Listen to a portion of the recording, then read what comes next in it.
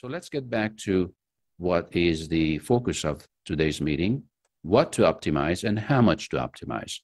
And I'm going to just jump into Ninja right away. So remember what we did last week. We ran a back test on about maybe four, four and a half years of data. We ended up with about, what was it, 9,000 trades.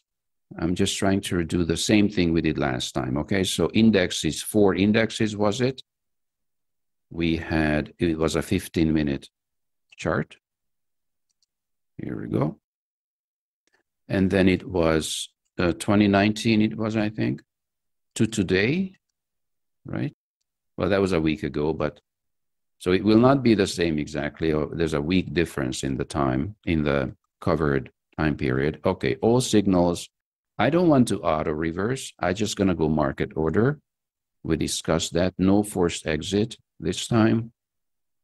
And no risk management this time. That's how it was, right? And then we we um, tested for a one hour trade, right? So the target and the stop were both three ATRs away. That's just a starting point. It doesn't have to be three.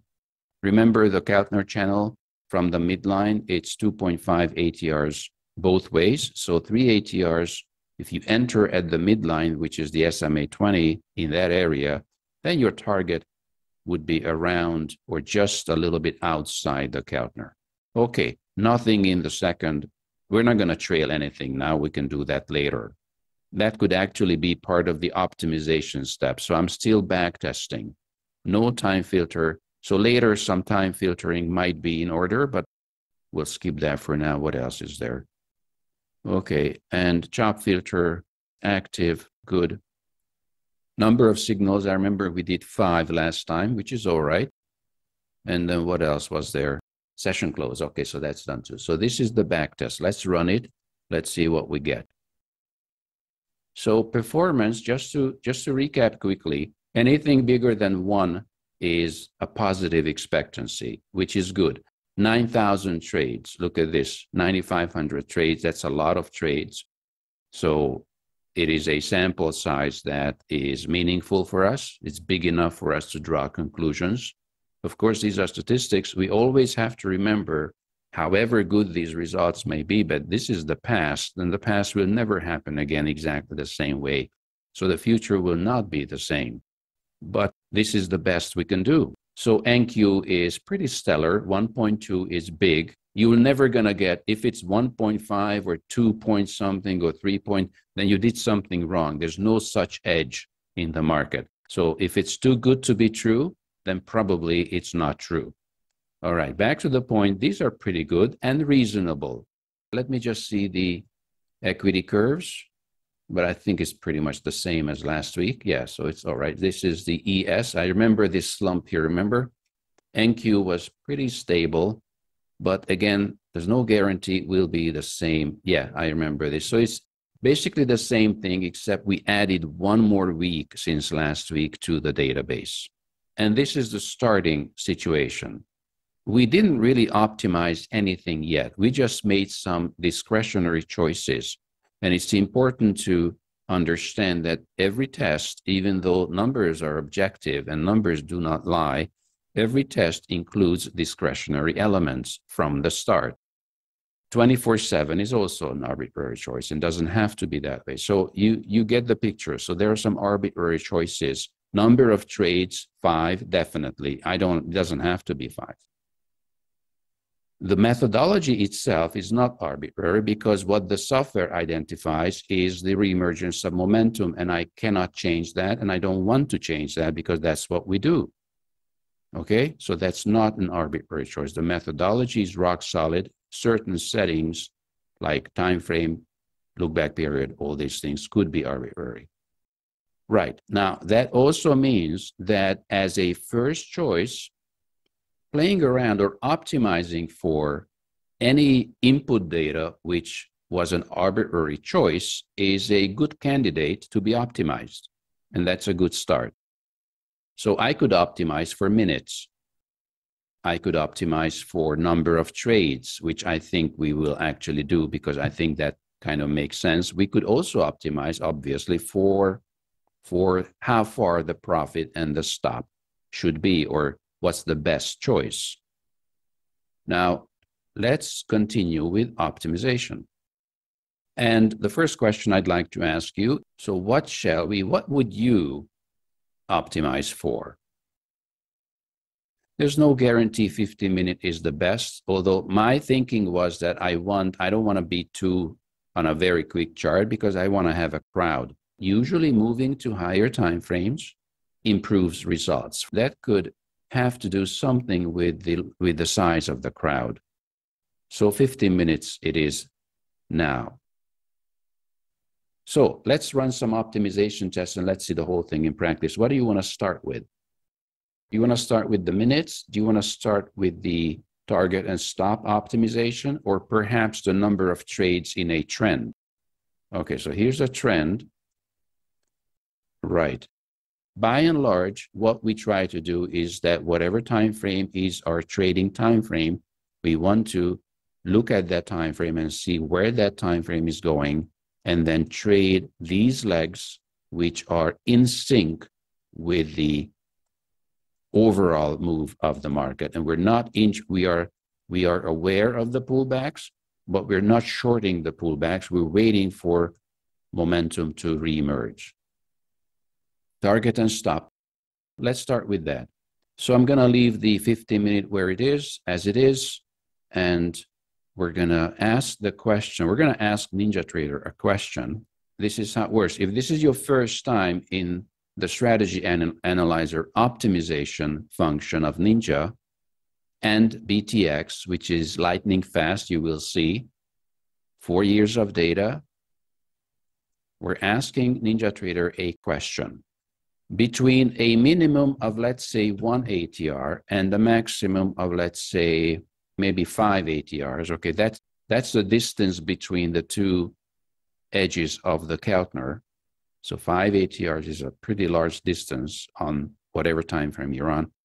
Increments, this could be 0.5 if you want half an ATR increment.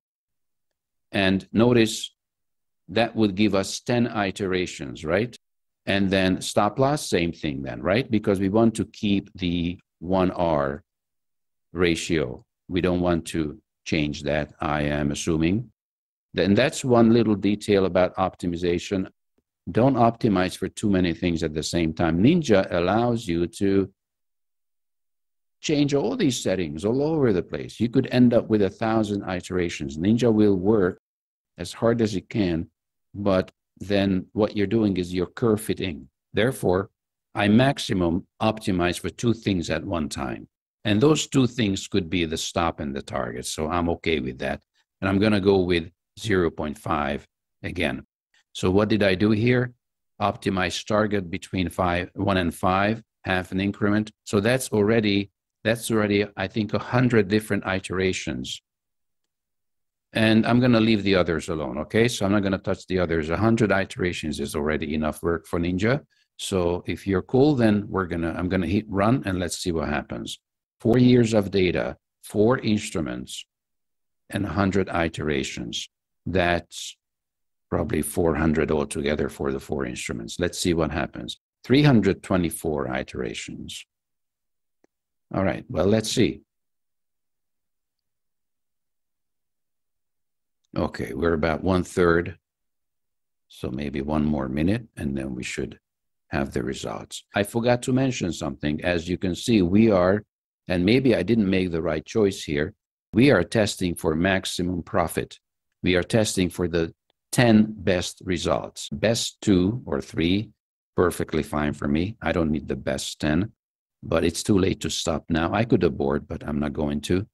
And the other one is maximum profit factor is not necessarily what we want to test for.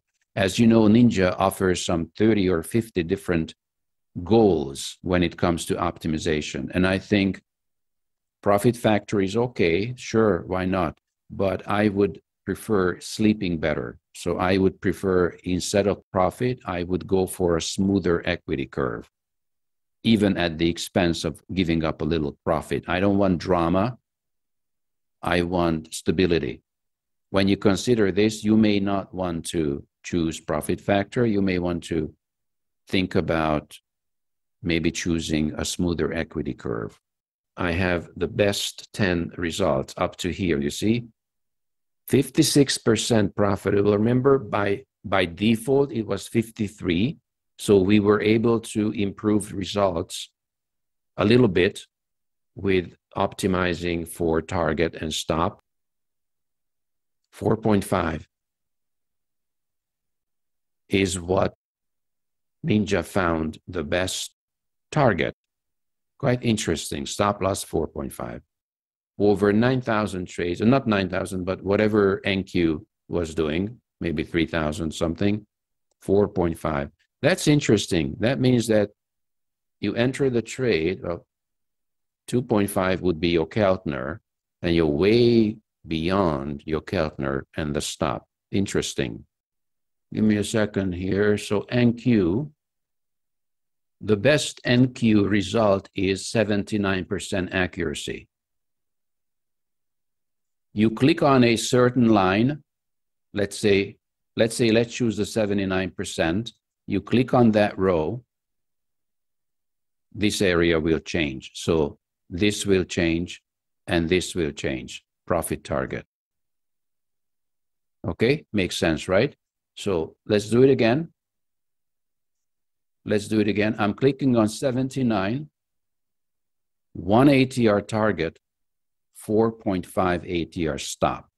If you, as I'm sure you have, traded for a while, maybe for years, you know that this is cannot, this is not a surprise. This cannot surprise any of us here. For a higher accuracy, you want you want a very close target and a very large stop. Make sense? If you enter the trade and you put the target right here, then you almost always you will get hit. Your, your target will get hit, correct? Because your target is very close. You have a lot of very small wins and you get hit just by noise. That's true.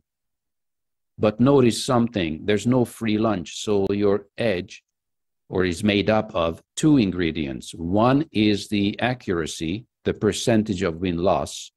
In this case, that will be very, very high, 79%, which will make you feel very good. But remember, your win loss ratio will probably be very, very small number.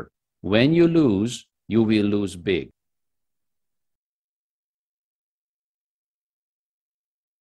these two ingredients are tied together. And uh, yes, it seems, this seems like a like very enticing, but I don't do this. I'm I'm working with one R. This is not a one R trade, right? First of all, I wouldn't I wouldn't choose 10 again because that's just too many choices. I would choose three. That's more manageable for me. So I would choose three and I would choose something between 50 and 60 and that would probably give me a value which is closer to 1R. Make sense? I'm not telling you which one is the best. I'm just saying along what lines you should be thinking. So if you are pressing for this, then you will have very large losers.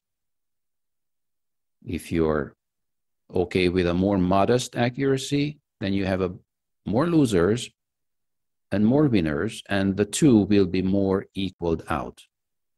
You can start to think for yourself about how you would like to trade, what kind of situation you would prefer for your trades over a large number of trades, whether you execute them totally algorithmically with BT or with a little bit of manual support with ProSTR. Either way, as a general rule, you should have some rules in your trading plan on where you want your target and stop when you enter the trade. For me, it's 1R. Another trader who would go for 53 is a more, just doesn't want the big drama anymore. And 3 3 is just fine. It's a one hour trade. I have a little edge and I'm just uh, taking every trade as it comes along. And hopefully the equity curve would look something similar to what we see. And I don't want the profit factor. I'm going to choose another max strength. I think that's that that's stability. Okay, I'm going to choose that. I'm just going to use the best two result. Best three. That's enough. A best three. Okay, let me hit run. And then in the meantime, we'll wrap up and then take it from here next time. So today, I hope we were able to look at a couple of obvious and very, very basic examples, of course, for optimization. And the whole point was optimization, the right amount of it is called learning, that is necessary. Overdoing it or trying to trying to use optimization to save pain in trading is not, in my opinion, the right path. There's no gain without pain. Remember that. So do not use optimization to try to make our life easier. Just use optimization to find the best values. That's all. Long story short, it's a worthwhile exercise if it's done in moderation. And once you're happy with the settings, then save the template of your settings. And from Monday to Friday, do not change. As you trade, when you wear the trader's hat, do not change the settings. On Saturday and, and Sunday, you're the researcher. You research. And if you want to modify the settings, you're free to do so, but do so not based on emotions, but based on data. And when Monday 9:30 comes, market opens, you are a trader. You're not a researcher. And the way not to doubt your settings is to run the numbers, crunch the numbers. And I hope last week and today we crunched a little numbers and you can continue this testing. Okay, in the meantime, we have some results. So let's look at the NQ. So what did we test for? We tested for number of trades in a trend. Let's see what that number is. Maximum number of signals, two. Nice equity curve and two trades in a trend. And with this, I think it's time to stop. So thank you so much for joining me today. And I'm happy to see that our numbers are continuing to be valid and strong, whatever we do with the systems. We haven't really done these number crunching work before. It's just always just charts and, and um, it doesn't work that way. We have to work with the numbers. Thank you very much and have a wonderful week. We'll see you next Wednesday.